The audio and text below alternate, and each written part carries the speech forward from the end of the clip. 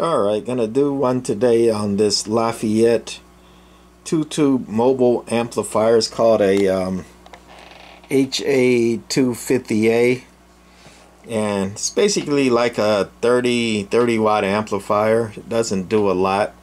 I guess um, in the old days this was produced at least according to the manual I have. I got original manual on this uh, HA250A and uh, uh, HA250 looks the same and I was wondering what the difference is. Um, the 250A here uses two um, 6JS6Cs I think which are equivalent to um, 6LQ6 tubes I'm going to pull this off with this DC power supply the high voltage isn't on until um, you actually key it down and it's that's the small transformer there um, with these DC switching um, power supplies old-fashioned switching not the new modern switching um, high voltage doesn't engage until you actually key it down and the it's got relays to cut off the power and also it's got uh, some heavy-duty bleeders in there so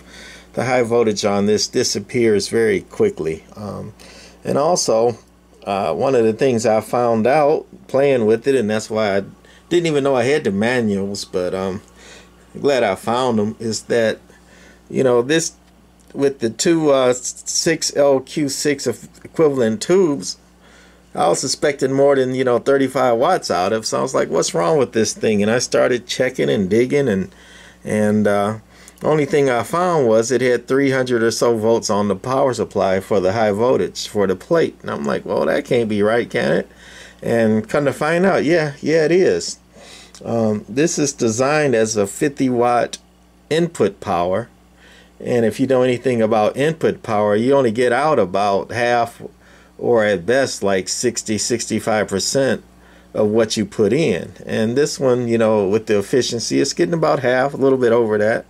So it's doing what it's supposed to do. You know, 50 watts in with that very low high voltage, um, you're getting about 30, 35 watts out. Um, and they even call it here 100 watt PEP. That's input watt power, 100 watts PEP input. And again, getting about half out. So it's about 50 watts PEP out. So it's, you know, in the specs and all.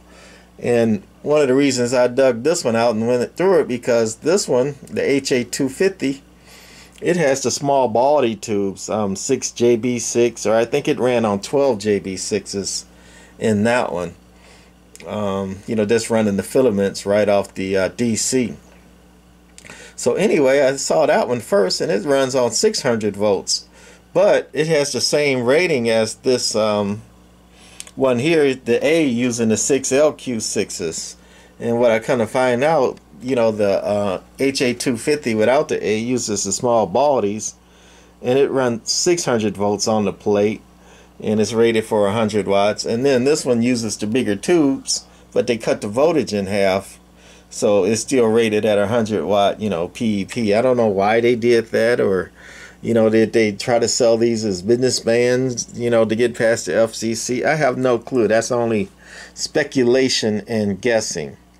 But anyway, this is the HA250A with the 6LQ6 made by Lafayette. And the manual somewhere in there says, you know, 1972.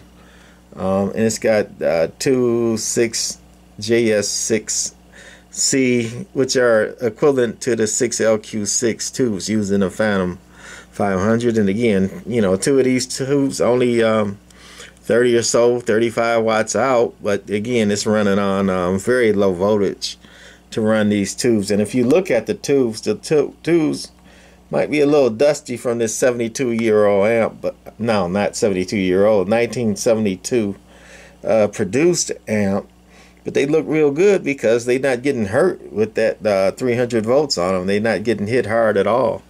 So anyway, um, you know, same old mud duck radio I already used. It did key about uh, four or five, and it swings to 10 on average. And since this doesn't have a real standby, just to on and off, I'm not going to put it on standby to uh, turn this off and then turn it back on to show you what the radio is doing. So hopefully it's all peaked up. I'm going to take it all peak and put it on average first 200 watt scale.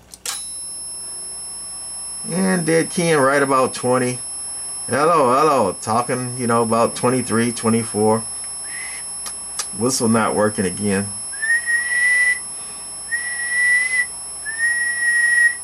Going about 32 watts on the whistle. And again, you know, 50 watts in and 25 watts or so out. It's doing what it's designed to do. And uh, put it on peak. Right at 50 watts peak. So, hello, hello, hello, hello. Hello. Talking about 50. Might do a little more if I stayed on it and let it heat up a little bit. But uh, it's not going to heat up much because, again, it's only... Um, 300 volts on the plate and um, not pushing them tubes very hard you know 4 watts in just a basic amp you know tune and load here uh, that there with all the numbers on it is circular is the transformer and it's got three re relays in it you know one sensing relay one to turn on the DC and one to uh, switch the antenna and um, I'm to turn it off, see if I can turn it around right quick. And on the back it's got a AM SSB switch. As with most CB amps, the AM SSB only puts a delay on the relay to keep the relay from unkeying and keying up and chattering during a uh, SSB transmit. Um, also, it's got a um, octal type plug in the back because this A model here they made a um, uh, external AC power supply for it. So if you had the AC power supply, you could um, you know unplug this plug here, this DC, just um, just the leads coming out of it, positive and negative, and plug in your AC power supply and run this little uh, little amp off the base. And that's it. Your antenna lead over here. Pretty clean for something this age. 1972 is 2022, so what, 50 years old? So anyway, that's going to be it for this guy, this Lafayette HA250. And about 25 to 30 watts, 50 watts peak. That's it. Bye.